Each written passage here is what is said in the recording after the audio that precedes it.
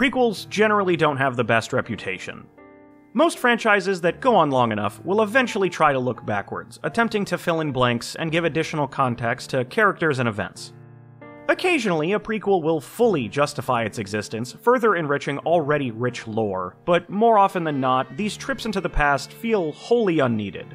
Mysteries better left up to the imagination will be fully explained, answers will be given to questions absolutely no one was asking, or something will end up conflicting with the firmly established timeline. A lackluster prequel won't ruin a series, but it can leave you wondering what ultimately was the point of it in the first place.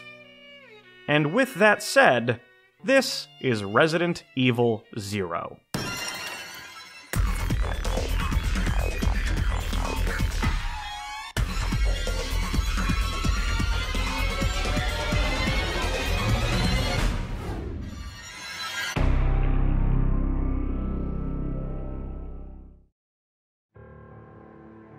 Resident Evil Zero came out in 2002, the same year as the acclaimed RE1 remake, with only 8 months separating the two titles. On the surface, that might lead some of you to believe Zero was some thrown together rush job made to ride the coattails of Alpha Team's debut, but in reality, Zero was in development for many years. In fact, it was originally conceived for the ill fated N64 disk drive before ultimately being rebuilt for the GameCube. RE0 is a weird title for me. Among my childhood consoles, the GameCube was basically the Resident Evil box, so I played Zero when it first released, and I remember liking it. I replayed it multiple times. But once Resi 4 came out and the series as a whole shifted direction, I rarely ever thought about it again until it was remastered in 2016 alongside the Resident Evil remake. While I went on to finish RE1 again and have since revisited it several times over the years, I didn't do the same for Zero. I bought it, I booted it up, but I only made it about halfway through before walking away and not touching it again until now. Nostalgia is usually a powerful force. I'll go back to childhood games and have a great time with them, flaws and all. But that just doesn't happen with this. Actually, the main feeling I associate with this game is indifference, and replaying it today only drove that point home. I don't hate RE0, but I also don't really enjoy it, and given the larger series never seems to acknowledge it, I don't think I'm alone in that. Set the night before the infamous mansion incident, we begin with a train speeding through the Arklay Mountains region, and all seems peaceful. Until swarms of deadly leeches, controlled by a mysterious opera singing man, envelop the locomotive, killing everyone aboard.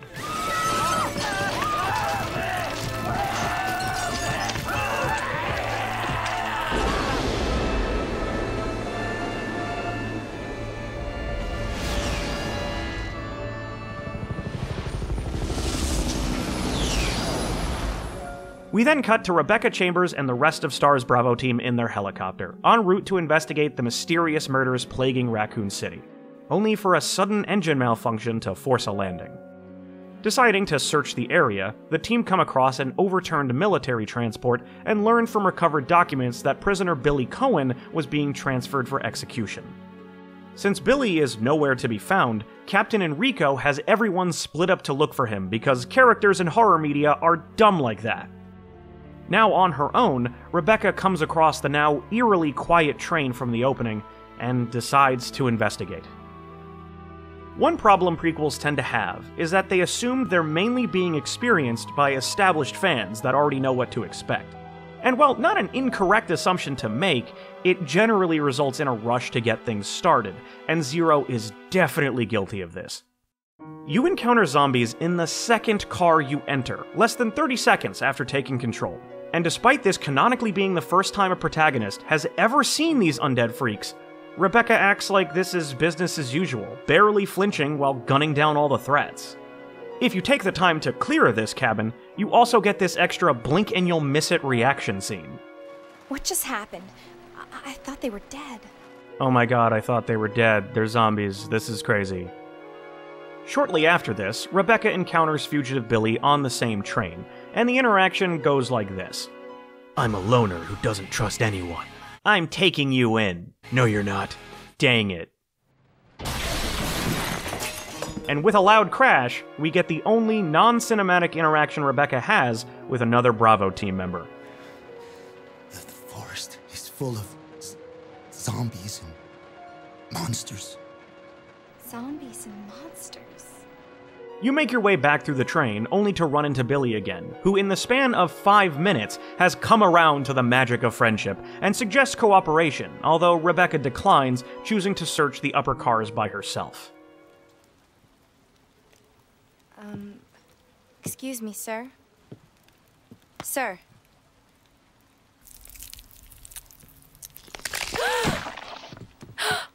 She gets attacked by a strange leech man, quickly being overwhelmed, only for Billy to come to her rescue.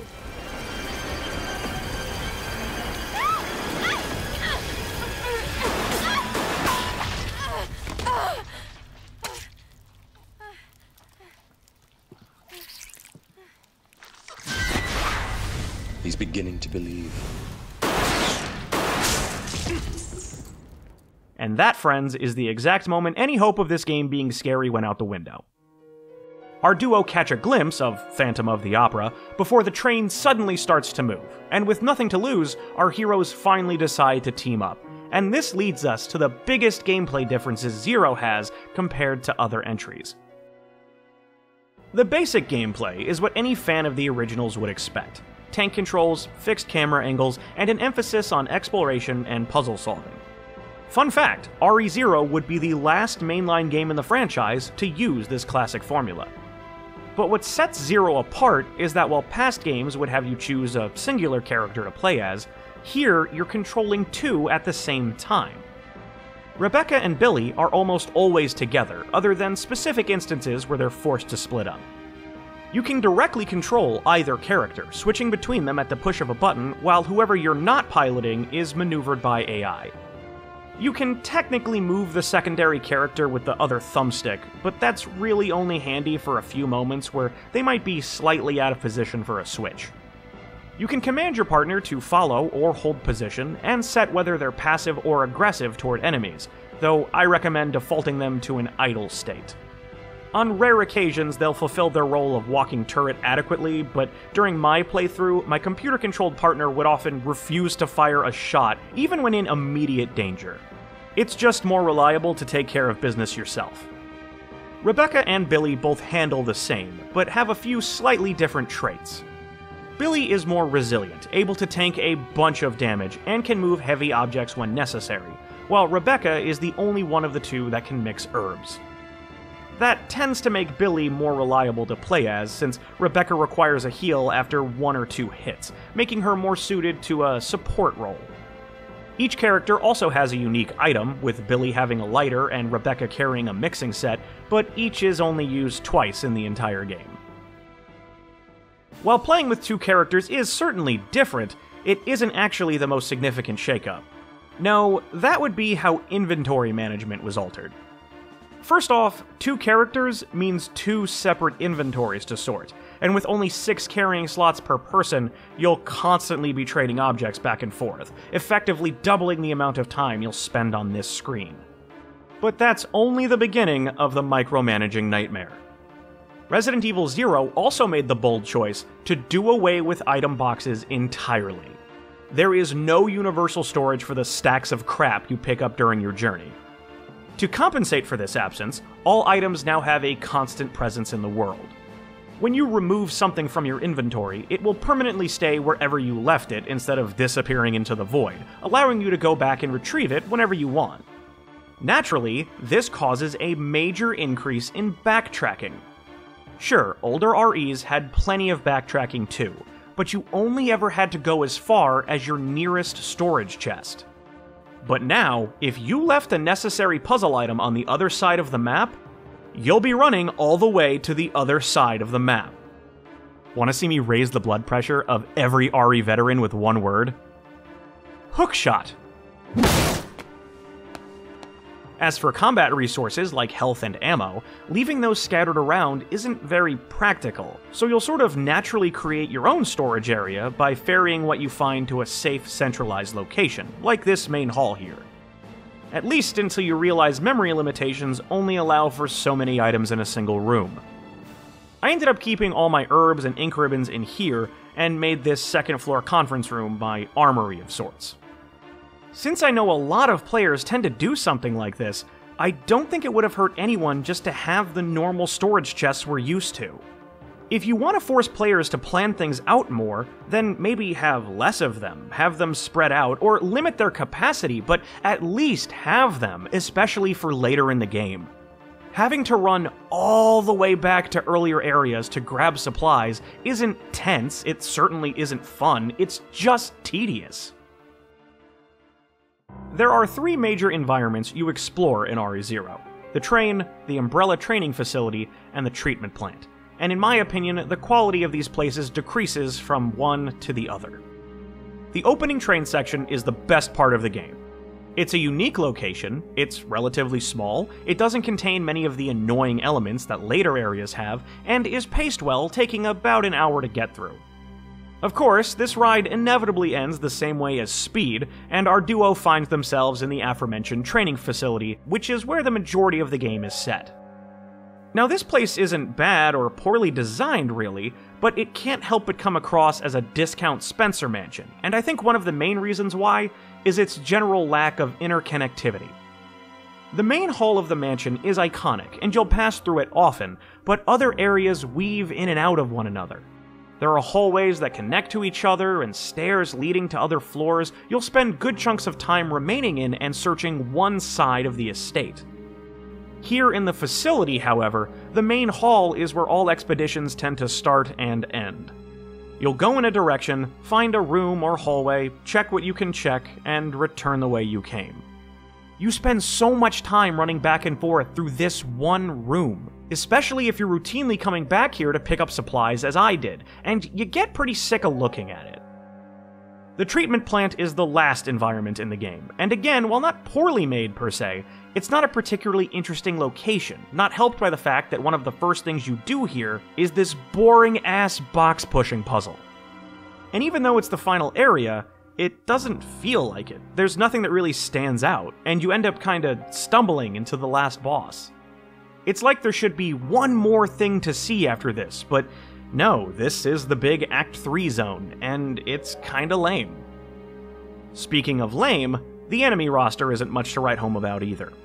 We have some of the usual standbys zombies, but no crimson heads, a few spiders, some crows, couple hunters, typical RE monsters. As for bioweapons unique to Zero, the main guys that stand out are these pissed off monkeys who might be the most annoying enemies in this franchise. They come in packs, they jump around, they take more damage than they should, and if you're really unlucky, they can stun lock you for extended periods. Everyone hates these guys, and for good reason. There are also the Leechmen, whose theme song is guaranteed to get a jolt out of you the first few times you hear it.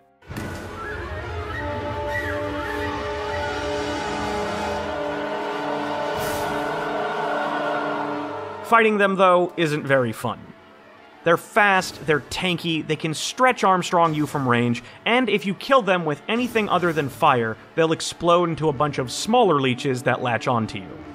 The most memorable baddies in RE0 don't stick with me because they're scary or intimidating, it's because of how annoying they are to deal with. Sadly, bosses aren't any better. RE1 had Yawn, RE2 had Birkin, RE3 had Nemesis, and RE0 has Giant Scorpion, and Giant Centipede, and Giant Bat. The devs were really scratching the bottom of the barrel at this point. Sure, previous entries weren't above some of their BOWs being oversized animals, but not only are the ones chosen here not as universally threatening as a snake or alligator, but all of them show up without any fanfare. They just appear because uh, we needed a boss fight. They lack any sort of staying power, aside from Tyrant, who also shows up out of nowhere, but I mainly remember him because he highlights a glaring issue with a particular character. And on that note, it's about time we got back to the plot, since it's the main reason this prequel exists in the first place. An opening text crawl lays out what this story seeks to answer. When was Umbrella founded? Who founded it, and how was the T virus created. And to its credit, the game does reveal these things over its runtime. Umbrella was founded in 1968 by Oswald Spencer, Edward Ashford, and the previously unmentioned James Marcus, and it was Marcus that developed the T virus via research with leech DNA. Okay, good to know, but these were never exactly pressing questions and end up being details that feel more at home in scattered documents, which is how a good deal of the info is parted anyway. These revelations don't make you see future events in a new light, they don't really change anything at all.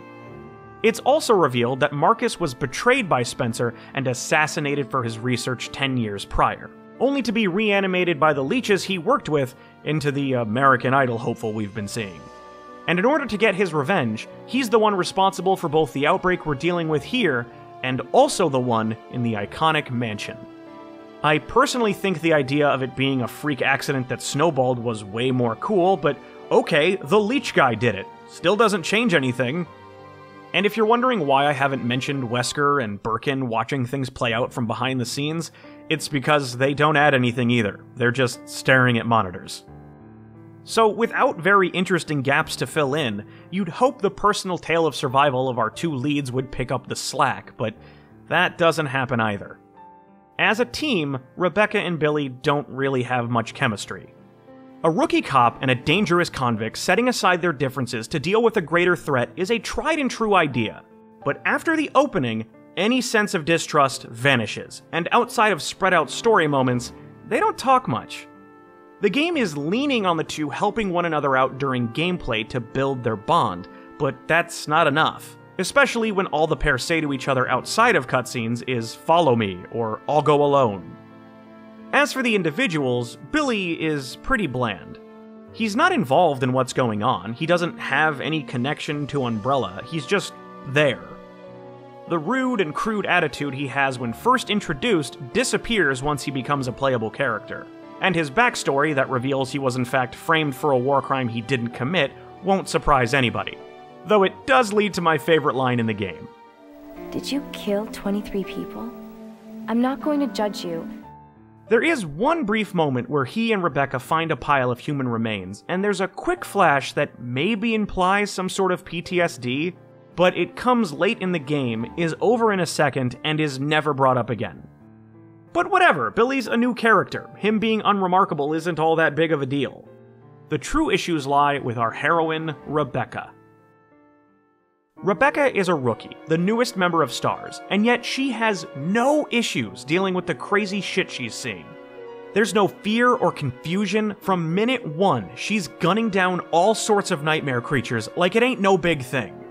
And over the course of the game, she's learning all about Umbrella, their experiments, the T virus, so by the end, she's a knowledgeable, battle hardened, zombie killing badass, and that creates a massive inconsistency.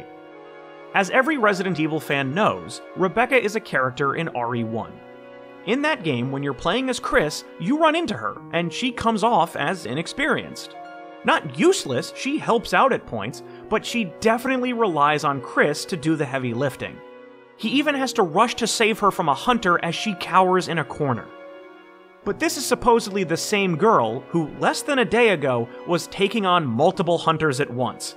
The same girl who, less than a day ago, single handedly brought down a tyrant. She's the last person that should need saving. Also, Rebecca never thinks to mention anything about what she went through.